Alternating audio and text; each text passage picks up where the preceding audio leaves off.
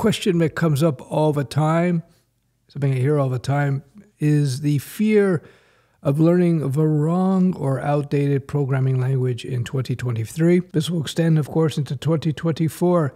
That fear is it's not founded in anything in uh, close to reality. I wouldn't be too concerned about it. You pick any of the top 20 languages today and you'll be fine. I tweeted about this recently, so I uh, I wrote the fear of learning a useless programming language is not a rash is not rational in 2023. There are no outdated programming languages in 2023 in the top 20 or more. And the reason that there's no outdated programming languages in 2023 is that all of the top languages share many of the same principles and concepts. So, I don't know, let's say you learn uh, Java, functions, object orientation, they apply to just about all the other languages. So, for you to pivot from Java to C Sharp, to TypeScript, to Python, to PHP, to JavaScript, it's going to be trivial. You're looking at like a couple days. So this whole notion that you might learn the wrong programming language is is is false. So I wouldn't be too concerned.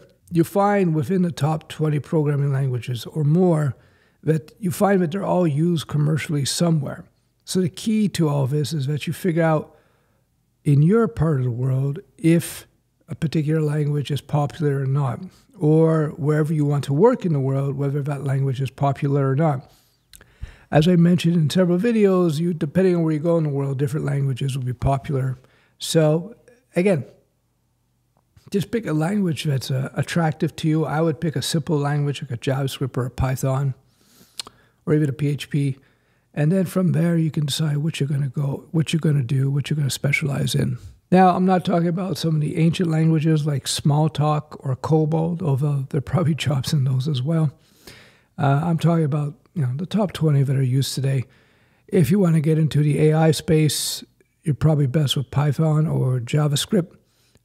If you want to become a freelancer, it's all web, so it's PHP for the back end, JavaScript perhaps as well. Of course, you can't forget the uh, HTML and CSS.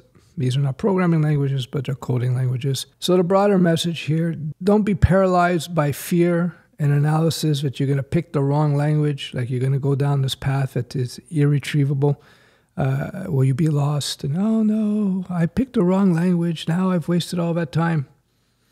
You can't waste time learning a programming language, even a language you would never end up using. I've learned programming languages that I used just once on a project, and having learned those languages and used them in production code, it gave me insight into development. So, for example, let's say you decide to learn programming with JavaScript first, and then you decide to pivot to Python for whatever reasons. You're going to see how Python does the same things that you saw in JavaScript, but in a different way. So, if you're new to programming, every language has a var- has variables. Every language has something called an array or collections, and you see that the way Python expresses or delivers collections to you is different from JavaScript in certain respects, but they also are very similar. You can see how each of these languages manage these special type of variables. Uh, Python has something called a tuple, which is kind of unique. It's a it's a uh, it's a data type, uh, which is kind of interesting, that you don't see in PHP, for example, so on and so forth. So when you learn language A and then you pivot to B or C, when you go from JavaScript to Python, then you jump over to C sharp, and maybe you learn TypeScript. All these things will contribute to your understanding of programming languages. I really started getting good at programming. I'd say when I was on my third language. The first programming language I learned was Perl. Then I learned, uh, what else did I learn? Yeah, then I learned JavaScript. Then I learned VB script. And then I learned um, uh, Java. I learned a lot of Java. Then was PHP. Then was C Sharp, and so many others.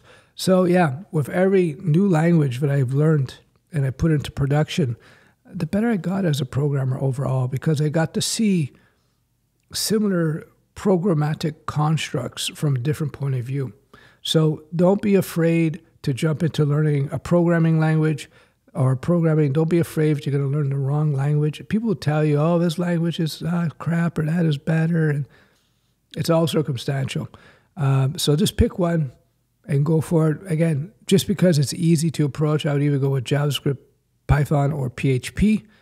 And uh, even if your ultimate goal was, say, C Sharp and Java, because C Sharp and Java, they're a bit more complex in certain regards in terms of the basics.